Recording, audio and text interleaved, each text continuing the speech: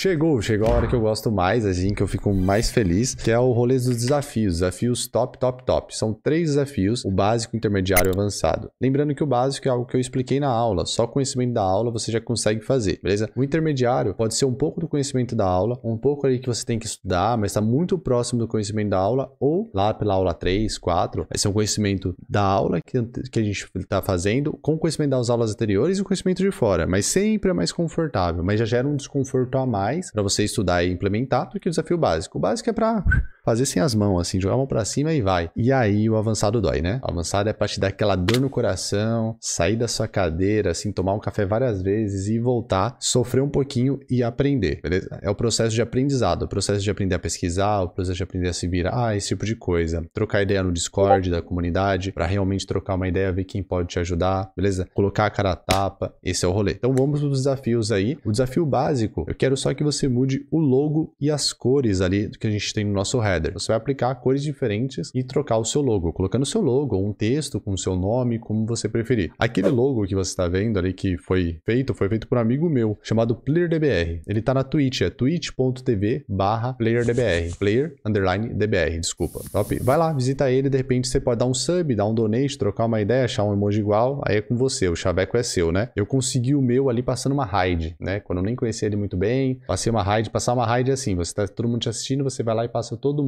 para assistir outra pessoa. Aí eu passei e ganhei. O chat pediu e eu ganhei. Nem foi eu que pedi, foi o chat, foi legal. Então, mas esse é o desafio. Você pode tentar o emoji, aí seria um desafio até extra do extra, hein? Nem é avançado nem nada. Seria o desafio do chaveco. Você conseguir trocar ideia com o PDBR e ganhar um emoji feliz. Desafio intermediário. Qual que é o rolê que eu quero que você faça o desafio intermediário? Desafio intermediário tem o botão que fica lá do lado direito, né? No outro extremo do logo. Eu quero que quando passar o mouse em cima, você coloque algum comportamento diferente. Então, quando o usuário passar o mouse em cima, vai mudar alguma coisa, beleza? Quando passa o mouse em cima, é o comportamento de over. Já dei uma dica para você se virar, top? E é uma pseudo classe, não é um pseudo elemento igual a gente viu. A gente estudou pseudo elementos, a gente estudou dois, o before e o after. Esse daí é um pseudo classe, a gente não estudou, mas é bem parecido. Então fica uma... Cadê um cheiro aí pra você estudar, né? Já deu uma ajudinha legal aí. Nem devia ter dado ajuda, mas já foi já. Desafio avançado.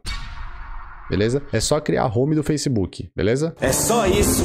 É zoeira, essa aqui não é não. É só a zoeirinha do chat aí, que o chat pediu aqui da Twitch, que se fosse a home do Facebook, mas achei pesado. Então o que vocês vão fazer? É um pouquinho mais pesado. Ele é mau e cruel. Hospedar, beleza? O sitezinho que a gente tá fazendo só com o cabeçalho, só o cabeçalho já vai colocar no ar, usando uma parada chamada GitHub Pages. Então você vai procurar no Google, você vai googar no rolê ou no DuckDuckGo, da sua preferência aí. Pode ser até no saudoso Yahoo. Será que existe o Yahoo? Acho que não, né? Acho que dá redirect para algum site. Aí você vai escrever aí no rolê como publicar o site no GitHub Pages. É só isso, top? É só isso mesmo, não tem mais nada. Você faz isso e pesquisa. E aí você vai ter que aprender sobre Git, vai ter que aprender sobre GitHub, é bem complexo, beleza? A pesquisa é simples, mas o processo de aprendizado é complexo e tem que doer mesmo. E vai até onde você conseguir, beleza? Se força, se empurra, mas fica tranquila e tranquila. Se você chegar no final e não conseguir, você pode ir para a próxima aula com calma e entender como vai ser o desafio. E aí você vai ver o que você teve dificuldade de aprender. O mais interessante é quando implementar o desafio avançado, caso você não faça, você olhar pro, na hora que eu estou explicando e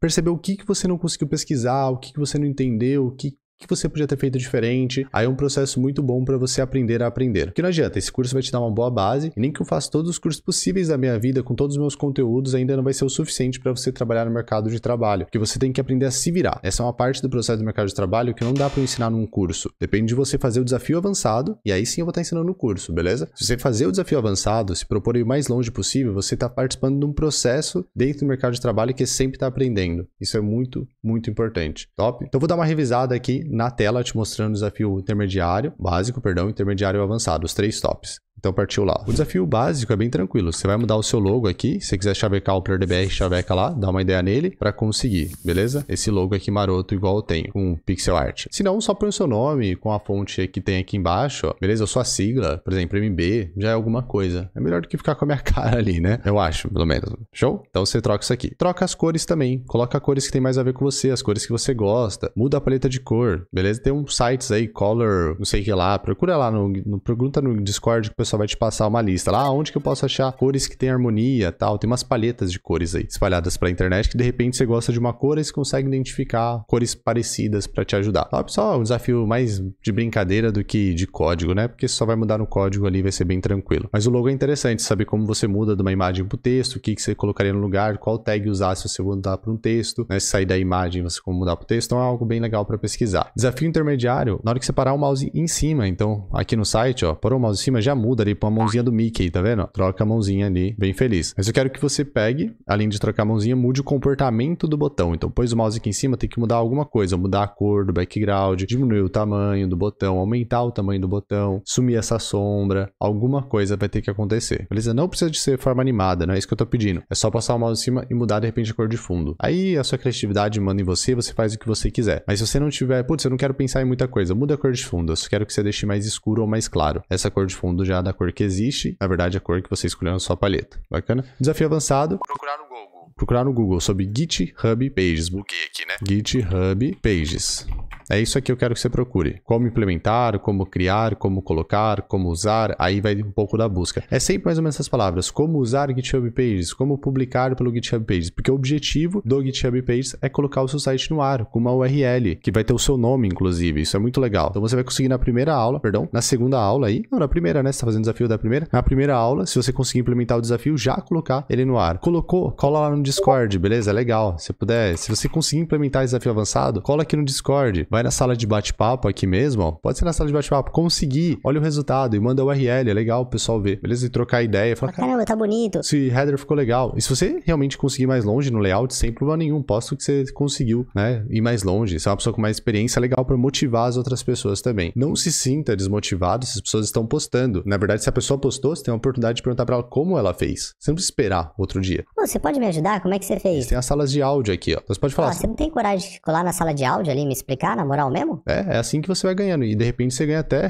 né, uma oportunidade de emprego aí nesse chaveco todo, assim, trocar ideia aqui, ó. Salas de aulas estão aqui, ó. Fala assim, ó, não tem como colar ali na sala de bate-papo, ou na sala codando, ou na sala de dúvida, não? Pode trocar uma ideia comigo, top, pra ver qual é que é. E se lotar essas salas, eu crio mais salas, beleza? Pra vocês. Se eu ver que tá enchendo salas ali de áudio, eu crio outras salas aí na tranquilidade. Então, realmente, é uma oportunidade muito legal de você conversar com outras pessoas e network sempre é importante pra procurar uma oportunidade de emprego, conhecer oportunidades de empregos que estão rolando, beleza? Então, se joga mesmo sem medo de ser feliz. Show? Então, ó, tá falando até um oi chat o Palma ali, ó, ao vivo.